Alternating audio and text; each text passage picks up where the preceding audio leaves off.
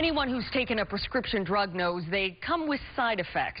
It's a matter of weighing the risks versus the benefits and trusting your doctor's advice. But some people claim a class of antibiotics called fluoroquinolones has left them suffering from unusual and debilitating health problems. What's more, they say, they were never properly warned. As Sean O'Shea uncovered, that has been a bitter pill to swallow. In 1928, Alexander Fleming changed the face of medicine almost by accident.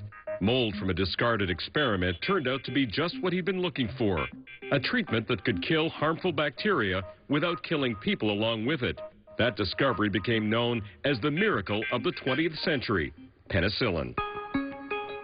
Ever since, drug companies like Bayer have been moving pharmaceutical science forward with new helpful drugs.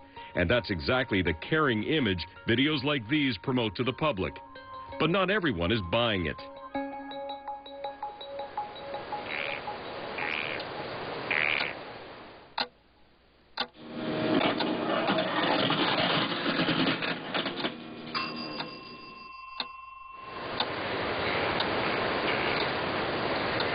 Mark Gerard's world is very small these days.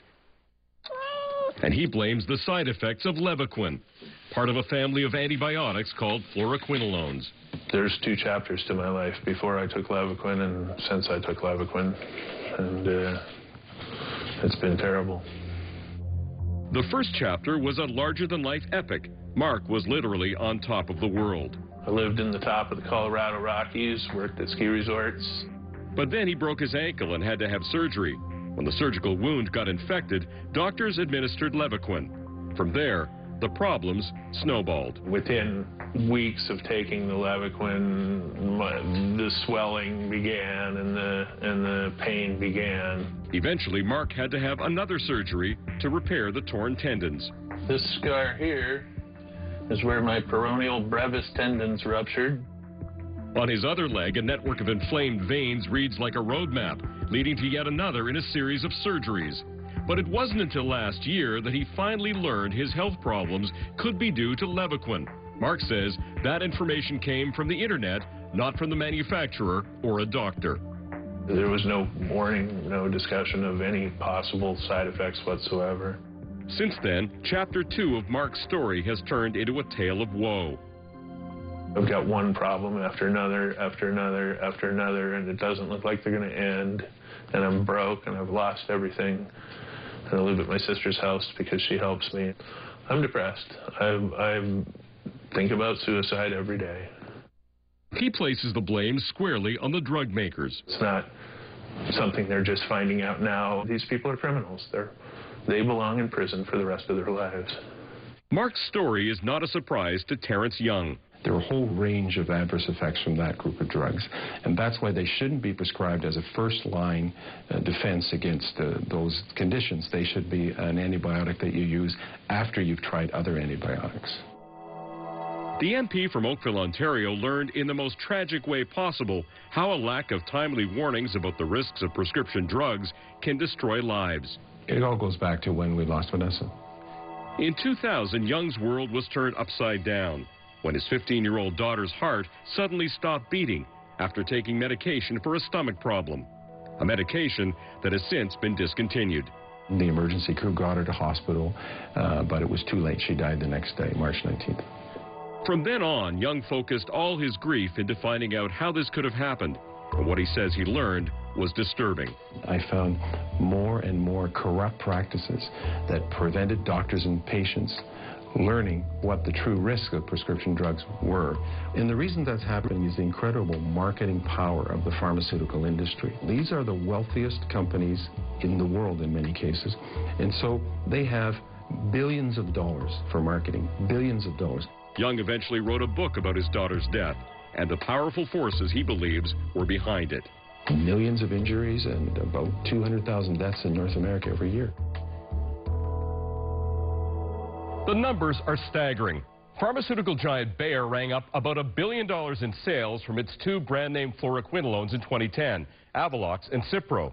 Janssen Ortho markets Levaquin in Canada. In the same year, its parent company, Johnson & Johnson, sold more than $1.3 billion worth. Those impressive sales figures are in spite of equally stunning numbers of reported adverse reactions and deaths associated with fluoroquinolones. The drug companies claim fewer than 1% of clinical trial subjects suffered serious reactions. Still, Health Canada's database contains about 2,000 reports classified as serious and about 100 deaths linked to fluoroquinolone since 1985.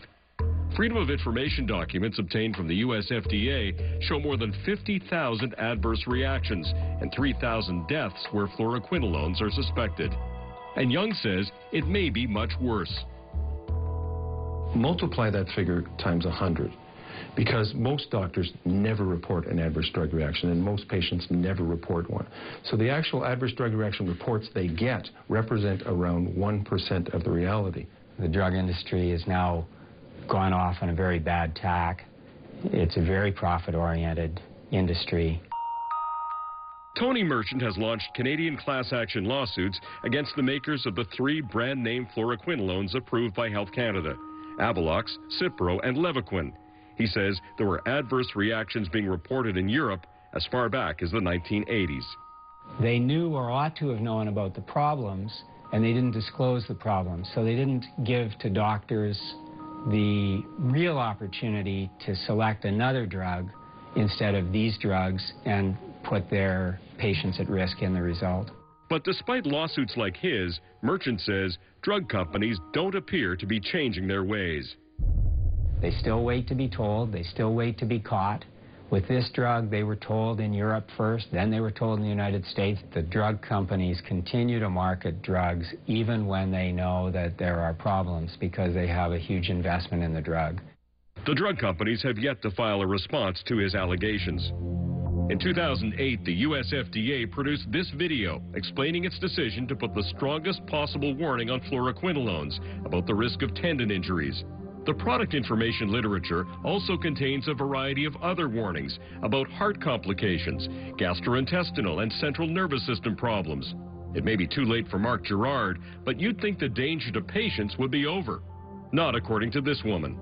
This will never go away, and this, I think, it will be forever. It's been over a year now.